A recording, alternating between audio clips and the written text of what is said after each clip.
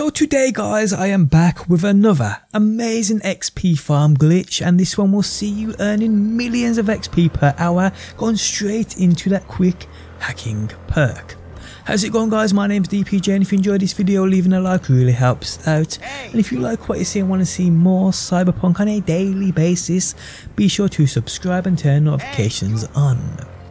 So first things first, this glitch was sent to me by my pal on Discord, but the video belonged to Joony Ly, I believe that's pronounced, whose channel can be found linked below, so full credit to this YouTuber. So this exploit sees you being able to level up your hacking skill to a max in literally minutes.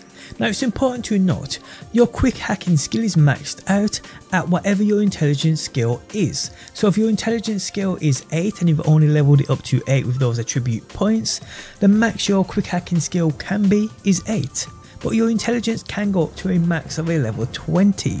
If this is the case and you're a level 20 intelligence, your quick hacking skill will max out at a 20. But using this, I'd put money on you being able to max out a 20 level quick hacking skill in under 10 minutes. This is that crazy.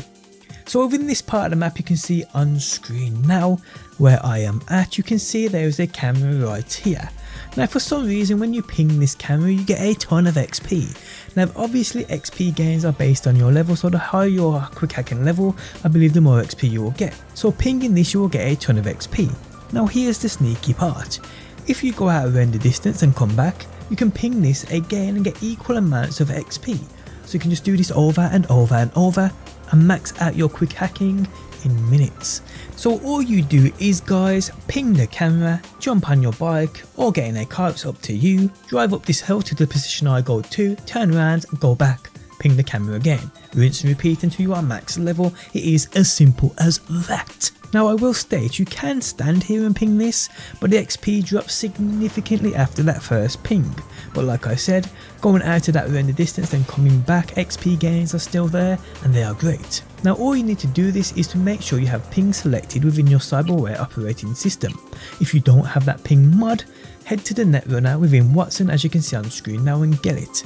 Then equip it within your RAM, within your operating system, within that cyberware tab, and use this glitch people. Now I'm doing this on my bike as it saves time getting off. But I will leave you to watch this guys just to see how quick you can actually rank up that quick hacking skill to that max level people. I'll also jump off my bike to show you how much XP you gain from doing this. It's utterly crazy people, it really is. So yeah guys, do what you gotta do and earn that XP and I hope this video helps you out.